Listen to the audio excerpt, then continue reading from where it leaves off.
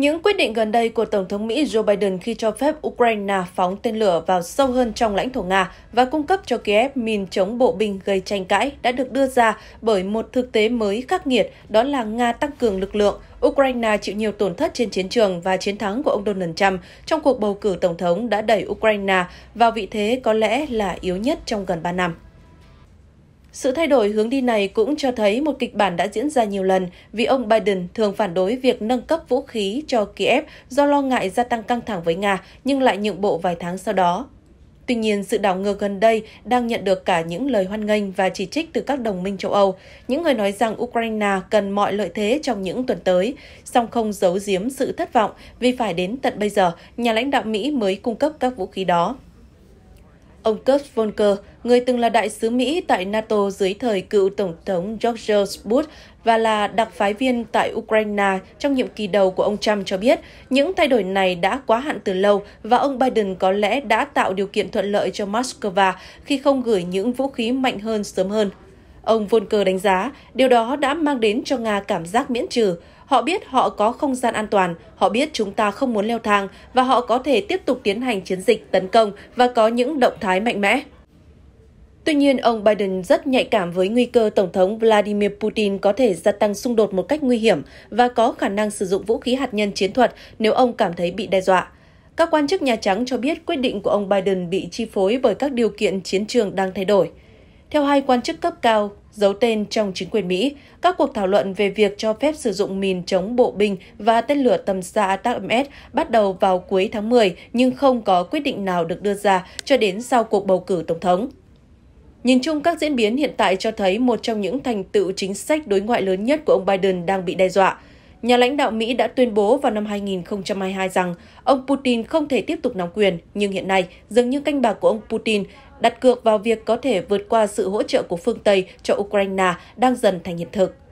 Tổng thống Biden đã được ca ngợi vì cách xử lý cuộc xung đột khi giữ vai trò lãnh đạo Liên minh phương Tây hỗ trợ Kiev bằng viện trợ và vũ khí cũng như giám sát việc mở rộng NATO. Tuy nhiên, ông cũng bị một số đồng minh chỉ trích vì quá chậm trễ trong việc cung cấp cho Ukraine vũ khí tiên tiến mà nước này yêu cầu, trong đó ATACMS là minh chứng mới nhất.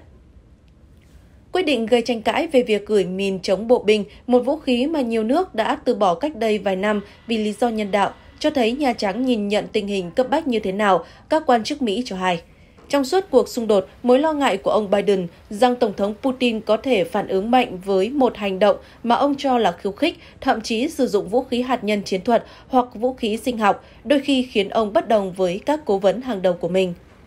Nỗi sợ gia tăng với Nga của ông Biden cũng là yếu tố quan trọng trong quyết định của ông khi giới hạn vũ khí được cung cấp cho Ukraine.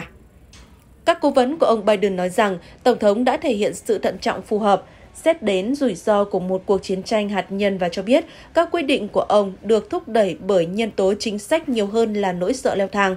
Những cố vấn này cũng hạ thấp quan điểm cho rằng việc cung cấp vũ khí sớm hơn sẽ ảnh hưởng đáng kể đến tiến trình xung đột. Nhiều quan chức châu Âu phản đối mạnh mẽ nói rằng Mỹ chỉ hành động vừa đủ để Ukraine tiếp tục chiến đấu nhưng không đủ để nước này giành chiến thắng.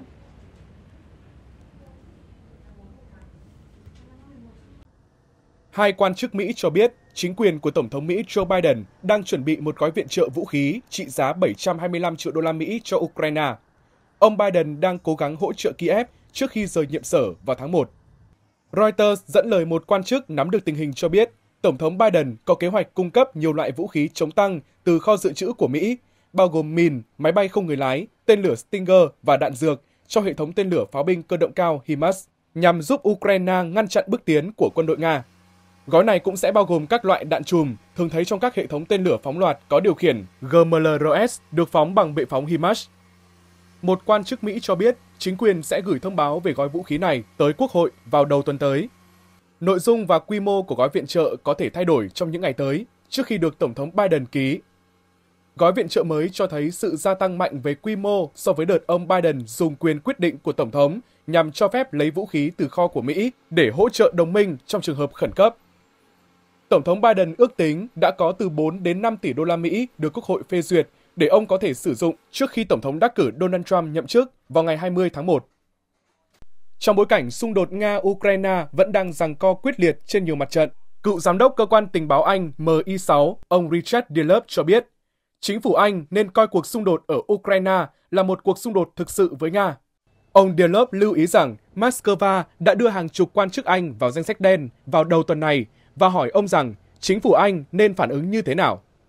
Cựu điệp viên này cho biết, chúng ta phải đối mặt với sự thật rằng người Nga nghĩ rằng họ đang trong tình trạng xung đột với chúng ta. Ông nói thêm rằng, Thủ tướng Ba Lan, ông Donald Tusk, đã gọi đó là tình hình trước xung đột. Tôi nghĩ ông ấy đã sai. Tôi nghĩ đó là một cuộc xung đột thực sự. Bây giờ, điều đó không có nghĩa là trong tâm trí người Nga, xung đột quân sự, mà có nghĩa là xung đột hỗn hợp hoặc các loại xung đột khác nhau trong các lĩnh vực lợi ích khác nhau. Ông Delop cũng lưu ý rằng anh nên duy trì một số kênh liên lạc thay vì không có liên hệ gì như hiện nay. Các quan chức Nga đã nhiều lần tuyên bố rằng viện trợ quân sự của phương Tây cho Ukraine thực tế chính là sự tham gia trực tiếp của họ vào cuộc xung đột. Cổng thông tin của chính phủ Nga mới đây công bố thông tin tên lửa đạn đạo mới Oresnik của họ nếu mang đầu đạn hạt nhân chiến thuật có thể mang đầu đạn 900 kiloton. Cổng thông tin cho biết trong một bài đăng trên kênh Telegram, ở phiên bản hạt nhân, Oresnik có thể mang theo đầu đạn hạt nhân chiến thuật với tổng sức công phá lên đến 900 kiloton,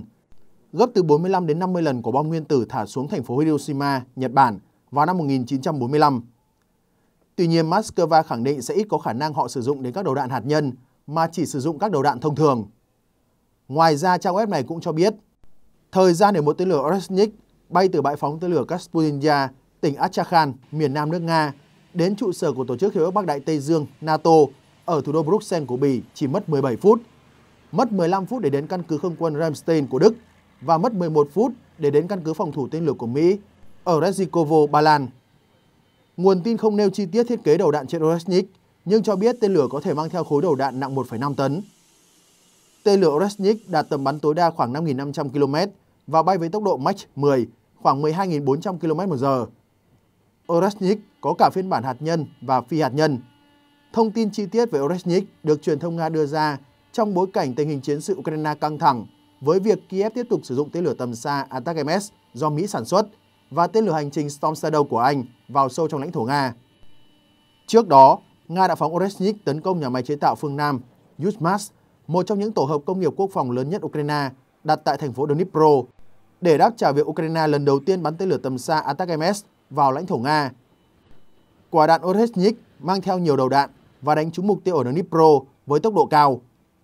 Các chuyên gia Nga tuyên bố đòn tập kích bằng tên lửa Oreshnik đã giúp Moscow phát thông điệp mạnh mẽ đến Washington và đồng minh về quyết tâm bảo vệ lợi ích quốc gia. Ông Viktor Litovkin, cựu đại tá Nga và hiện là một nhà phân tích quân sự nhấn mạnh, tốc độ gần 11.000 km một giờ của quả đạn khiến phương Tây không có biện pháp nào để ứng phó. Động năng trong quá trình hồi quyển với tốc độ siêu vượt âm cũng giúp đầu đạn xuyên phá các công trình kiên cố, biến Oreshnik thành vũ khí phù hợp để đối phó với những mục tiêu chiến lược. Giám đốc Justin Crum cũng có cùng quan điểm, cho rằng Nga đang phát cảnh báo đến phương Tây khi sử dụng loại tên lửa có tốc độ cao và sức sát thương vượt trội so với những khí tài từng tham chiến tại Ukraine trước đây. Pravda Ukraine mới đây đã dẫn thông báo của không quân Ukraine cho biết cảnh báo không kích được kích hoạt trên khắp lãnh thổ Ukraine do mối đe dọa nguy hiểm về tên lửa sau khi quân đội Ukraine phát hiện Nga cho xuất kích 7 oanh tạc cơ chiến lược Tu-95MS. Cụ thể, không quân Ukraine nêu rõ, hoạt động của 4 oanh tạc cơ Tu-95MS từ sân bay Olenia thuộc vùng Murmansk thuộc Nga có được ghi nhận bay theo hướng Đông Nam, nhưng không cho biết thông tin về hướng bay của ba oanh tạc cơ Tu-95MS còn lại. Được biết, Tu-95MS nhiều lần được Nga sử dụng trong kế hoạch quân sự ở Ukraine. Nó được thiết kế để khai hỏa các loại tên lửa dẫn đường tầm xa như KH-55, 101. Trước đó ít phút, không quân Ukraine phát hiện Nga khai hỏa nhiều loạt tên lửa hành trình Kalib từ khu vực Biển Đen vào nước này, nhưng chưa rõ tác động. Quân đội Ukraine ghi nhận nhiều máy bay không người lái UAV xâm nhập lãnh thổ vào buổi đêm. Trên kênh Telegram chính thức, không quân Ukraine cũng nói rằng một nhóm tên lửa cũng đang lao về thủ đô Kiev và khu vực Khmelnytsky, nơi đặt căn cứ không quân quan trọng nhất của Ukraine. Truyền thông Ukraine cùng ngày cũng ghi nhận loạt vụ nổ lớn vang lên ở thành phố Lviv, phía Tây, thành phố Odessa, bên bờ Biển Đen, ở tỉnh Kharkov, phía Bắc giáp biên giới với Nga và ở thành phố Lusk, thủ phủ của tỉnh Volyn, phía Tây Bắc. Nguồn điện tại Lusk bị ngắt sau các tiếng nổ. Thông tin về đợt tập kích quy mô lớn của Nga và Ukraine xuất hiện trong bối cảnh Moscow những ngày qua cảnh báo đáp trả quyết liệt việc Kiev sử dụng tên lửa Attack-MS do Mỹ sản xuất và tên lửa hành trình Storm Shadow của Anh vào sâu trong lãnh thổ Nga. Theo hãng TASS của Nga, Tu-95 là máy bay ném bom động cơ tua bin cánh quạt, được thiết kế để tấn công các mục tiêu của kẻ thù bằng nhiều loại vũ khí, bao gồm cả vũ khí hạt nhân chiến thuật ở những khu vực xa xôi và sâu trong hậu phương của đối thủ. Phiên bản Tu-95MS thực hiện chuyến bay đầu tiên vào ngày 14 tháng 9 năm 1979 và được đưa vào sử dụng từ năm 1981. Máy bay ném bom chiến lược Tu-95MS có thể đạt tốc độ 830 km/h và tầm hoạt động 11.000 km. Tu-95MS có phi hành đoàn 7 người chở theo đợt tên lửa hành trình tầm xa, cùng hai súng cỡ nòng 23mm. Phó Chủ tịch Hội đồng An ninh Nga Dmitry Medvedev không loại trừ khả năng Moscow sẽ phải tấn công các căn cứ quân sự của NATO trong trường hợp gia tăng căng thẳng vì việc sử dụng vũ khí tầm xa của phương Tây chống Nga. Ông Medvedev nói trong một cuộc phỏng vấn với hãng thông tấn Al Arabiya rằng nếu xung đột phát triển theo kịch bản gia tăng căng thẳng, không thể loại trừ bất cứ điều gì, vì các thành viên NATO thực sự đã tham gia hoàn toàn vào cuộc xung đột này. Ông Medvedev có phát biểu trên khi nhận được câu hỏi liệu Nga có thể tập kích các trung tâm quân sự ở Romania và Ba Lan hay không, nếu các tên lửa tầm xa do phương Tây sản xuất vẫn tiếp tục được sử dụng để nhắm bắn nước này. Phó Chủ tịch Hội đồng An ninh Nga lưu ý, các quốc gia phương Tây đang chiến đấu vì phe Ukraine, không chỉ bằng cách chuyển giao vũ khí và cung cấp tiền tài trợ, mà còn trực tiếp đối đầu với các lực lượng Moscow khi cung cấp thông tin mục tiêu trên lãnh thổ Nga và kiểm soát các tên lửa của Mỹ và châu Âu. Ông Medvedev nhấn mạnh, ngay cả kịch bản khó khăn và buồn nhất cũng có thể xảy ra. Chúng tôi không muốn kịch bản như vậy. Chúng tôi đã nói đi nói lại điều đó nhiều lần. Chúng tôi muốn hòa bình, nhưng hòa bình này phải tính đến lợi ích của Nga. Trước đó, Tổng thống Nga Putin cho biết 6 tên lửa đạn đạo chiến thuật Attack-MS của Mỹ đã tấn công Nga. Tên lửa Storm Shadow của Anh tấn công các cơ sở quân sự ở khu vực Bryansk và Kursk. Ông khẳng định hệ thống phòng không của Nga đã đánh chặn hầu hết các tên lửa này. Để đáp trả việc phương Tây cho phép Ukraine sử dụng vũ khí tầm xa do các nước này viện trợ để tấn công sâu vào lãnh thổ Nga, tuần trước, Tổng thống Putin đã phê chuẩn học thuyết hạt nhân chiến thuật sửa đổi theo hướng hạ thấp ngưỡng sử dụng biện pháp gian đe hạt nhân. Học thuyết sửa đổi nêu rõ, bất kỳ cuộc tấn công nào của một cường quốc phi hạt nhân được hỗ trợ bởi một cường quốc hạt nhân sẽ bị coi là cuộc tấn công chung nhằm vào Nga. Bất kỳ cuộc tấn công nào của một thành viên trong khối quân sự cũng sẽ bị coi là cuộc tấn công của toàn bộ liên minh. Tướng Christian Badia, Phó Tổng tư lệnh Bộ Tư lệnh chuyển đổi đồng minh ACT cho biết, khối NATO do Mỹ đứng đầu đã bị cuốn vào một cuộc giao tranh chống lại Nga và những nước hậu thuẫn nước này, trong đó việc định hình trật tự thế giới mới đang bị đe dọa. Tướng Christian Bania tuyên bố, Nga đang tiến hành một cuộc giao tranh hỗn hợp chống lại phương Tây, đồng thời cảnh báo rằng cuộc xung đột đang diễn ra có thể phát triển theo cách không thể kiểm soát bất cứ lúc nào, bởi có quá nhiều vùng xám và tính toán sai lầm là rủi ro lớn nhất. Vị tướng này tin rằng sự căng thẳng hỗn hợp đang diễn ra đã trở nên quá mức. Ông nói, cuộc đối đầu với Nga không chỉ là chiến tranh lạnh 2.0. Ở đây, chúng ta đang nói về một trật tự thế giới mới. Đồng thời tuyên bố rằng các đối thủ của NATO đang cùng nhau phát triển vũ khí siêu thanh, vệ tinh và đạt được những tiến bộ trong không gian mạng. Mặc dù không đưa ra bất kỳ sự kiện nào để chứng minh cho những tuyên bố như vậy, nhưng tuyên bố rằng Nga cũng được một số quốc gia khác hậu thuẫn, sẵn sàng thách thức sự thống trị của phương Tây. Đánh giá của tướng Badia về sự bế tắc giữa Moscow và NATO tương đồng với nhận xét của các quan chức cấp cao của Nga, những người đã mô tả tình hình như một cuộc giao tranh hỗn hợp, đặc biệt là khi đề cập đến áp lực trừng phạt ngày càng gia tăng và sự hỗ trợ quân sự lâu dài của phương Tây đối với Ukraine. Nga đã nhiều lần bác bỏ tuyên bố của các quan chức cấp cao của các nước NATO rằng sự tham gia tích cực của khối này vào cuộc xung đột ở Ukraine không khiến khối này trở thành một bên tham gia vào cuộc xung đột này. Trước đó vào tháng 9, Bộ trưởng Ngoại giao Nga Sergei Lavrov cũng đã từng nhấn mạnh Moscow không muốn gia tăng xung đột ở Ukraine và phương Tây bị kéo vào tham gia trực tiếp. Song ông nhấn mạnh điều này chắc chắn sẽ xảy ra nếu như Kiev sử dụng vũ khí tầm xa tấn công sâu vào lãnh thổ Nga. Ông nói, đó sẽ là cuộc xung đột trực tiếp của NATO chống lại Nga. NATO đã tiến hành cuộc xung đột chống lại Nga, nhưng đó là cuộc xung đột mượn tay Ukraine. Nếu chúng ta đang nói về các loại tên lửa tầm xa, rõ ràng Ukraine sẽ không thể tự sử dụng chúng. Ông nhấn mạnh, các nhiệm vụ như dẫn đường mục tiêu, thu thập dữ liệu từ vệ tinh và thiết lập nhiệm vụ bay chỉ có thể được thực hiện bởi chuyên gia từ các nước sản xuất chính loại vũ khí đó.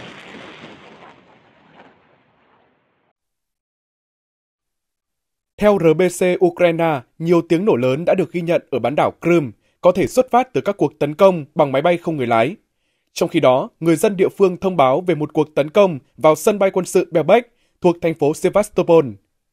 Các kênh Telegram đưa tin lực lượng Ukraine đã tiến hành cuộc tấn công hỗn hợp sử dụng một nhóm máy bay không người lái, tên lửa Neptune và tên lửa S-200 nhằm vào Sevastopol. Thống đốc Sevastopol, ông Mikhail Ravoyev, sau đó viết trên Telegram rằng cuộc tấn công hỗn hợp của Ukraine vào Sevastopol đã bị đẩy lùi. Các cơ sở hạ tầng trong thành phố không bị hư hại. Hai tên lửa và năm máy bay không người lái đã bị bắn hạ trên biển. Bộ Quốc phòng Nga chưa bình luận về vụ tấn công tên lửa vào căn cứ không quân Belbek. Tuy nhiên, trong bản cập nhật mới nhất về tình hình xung đột, Bộ này cho biết 25 máy bay không người lái của Ukraine đã bị vô hiệu hóa trên Biển Đen và bán đảo Crimea. Ở diễn biến đáng chú ý, trong vài ngày qua, lực lượng vũ trang Ukraine đã sử dụng vũ khí tầm xa hai lần để tấn công khu vực Kursk của Nga. Bộ Quốc phòng Nga sau đó tuyên bố rằng họ đang chuẩn bị đáp trả các cuộc tấn công đó. Ông Andrei Koskin, chuyên gia quân sự, trưởng khoa phân tích chính trị và quá trình tâm lý xã hội tại Đại học Kinh tế Nga Plekhanov cho biết, lực lượng Nga có thể tấn công các cơ sở hạ tầng năng lượng và quân sự, cũng như các trung tâm hậu cần cung cấp vũ khí và thiết bị cho lực lượng vũ trang Ukraine. Ông Koskin nói với Info 24, mục tiêu chính của các cuộc tấn công đó là làm giảm khả năng chiến đấu của quân đội Ukraine. Tôi không loại trừ khả năng trong quá trình thực hiện các hành động trả đũa, quân đội Nga có thể sử dụng lại tên lửa Oresnik, một phiên bản thông thường của tên lửa này.